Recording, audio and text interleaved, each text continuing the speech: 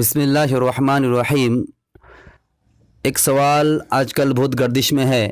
سوال یہ ہے، مفتی صاحب سے پوچھنا ہے کہ جو آج کل چند دنوں کے بعد اپریل فل آنے والا ہے، تو اس اپریل فل میں بہت سے حضرات ایک دوسرے کو اپریل فل مناتے ہیں۔ یعنی اگزامپل جیسے کسی کو کوئی دھوکہ دے دیا یا کوئی جھوٹ بول دیا اور جب جھوٹ پتہ چل جانے کے بعد بولتے کہ اپریل فل تو اس طرح کے بعد اس طرح کام کرنا، اس طرح کے عمل کرنا، شریعت میں کیا حکم رکھتا ہے؟ کیا کرنا درست ہے یا درست نہیں ہے؟ اس کے بعد چل روشن ڈالے تو برائے مہربانی ہوگی۔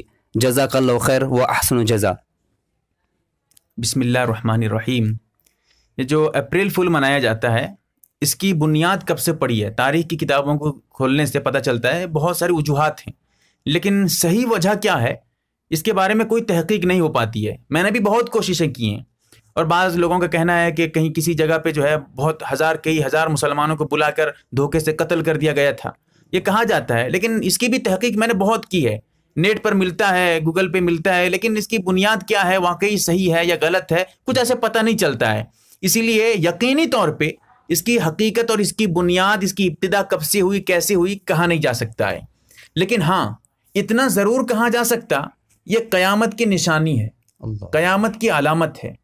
کیونکہ لوگ گناہ کریں گے پھر اس کے بعد اس پہ فخر کریں گے۔ ایسا ہوتا ہے۔ یہی تو ہے اس کا اپریل فول کا مطلب۔ کسی کو دھوکہ دے دیا گیا جھوٹ کہہ دیا گیا جبکہ جھوٹ کے بارے میں خود اللہ کے رسول صلی اللہ علیہ وسلم نے ارشاد فرمایا ہے کہ جو ہے جو منافق ہوتا ہے اس کی تین علامتیں ہوتی ہیں۔ ان میں سے ایک علامت جھوٹ کہنا بھی ہے اسی میں سے ایک علامت اور اللہ کے رسول بیان فرماتے ہیں کہ دھوکہ دینا بھی ہے۔ یہ منافق کی علامت ہے۔ منافق کہتی ہیں کس کو ہیں؟ اسلام کی روشنی میں منافق کہتے ہیں بہروپیہ جو اسلام کے اندر اندر سے غداری کرتا ہے اسلام کے ساتھ، مسلمانوں کے ساتھ غداری کرتا ہے، وہ ہوتا ہے منافق۔ اور یہ منافق کی علامت ہے، دھوکہ دینا۔ ایک حدیث میں اللہ کے رسول صلی اللہ علیہ وسلم نے ارشاد فرمایا، من غصن فلیسا منا جو دھوکہ دے، کس کو دھوکہ دے؟ چاہے مسلمان کو دھوکہ دے، چاہے غیر مسلم کو دھوکہ دے، یا چاہے اپنے گھر والوں کو یا کسی کو بھی دھوکہ دے۔ اگر دھوکہ دیتا ہے وہ ہم میں سے نہیں ہے، سچا پکا ایمان والا نہیں ہے۔ صحیح معنی میں مسلمان نہیں ہے۔ تو دھوکہ دے رہا یہ جو اپریل فل ہوتا ہے دھوکہ ہی دیتے ہیں۔ جی، جی۔ دھوکہ دیتے ہیں جھوٹ بول دیتے ہیں وہ چوک جاتا ہے۔ کہتا ہے اچھا، ایسا ہوا۔ پھر کہتا ہے اپریل فل بنایا تم کو۔ ہنسنے لگتا ہے۔ جی۔ اور یہی تو ہوتا ہے۔ ایک تو گناہ ہوا جرم کیا اتنا حرام کام کیا منافق والا کام کیا۔ منافق تو نہیں ہوا اس سے لیکن منافق والا عمل کیا۔ پھر اس کے بعد یہ فخر کرتا ہے میں تو ہنسایا تم کو۔ ارے میں تو اپریل فل بنا رہا تھا۔ یہ ہو رہا ہے۔ اب کیا ہوگا بھائی؟ آدمی گناہ کرتا ہے افسوس ہونا چاہیے۔ فخر کر رہا ہے۔ یہ قیامت کے قریب والی علامت نہیں ہے تو کیا ہے بھائی؟ جی۔ قیامت سے پہلے تو یہی ہوگا۔ لوگ گناہ کریں گے اور پتہ بھی نہیں چلے گا گناہ کر رہا ہوں۔ گناہ کریں گے فخر کے طور پہ گناہ کریں گے۔ آج تو یہ چل رہا ہے۔ کچھ دنوں کے بعد پھر دیکھیے زنا والا سسٹم چل جائے گا۔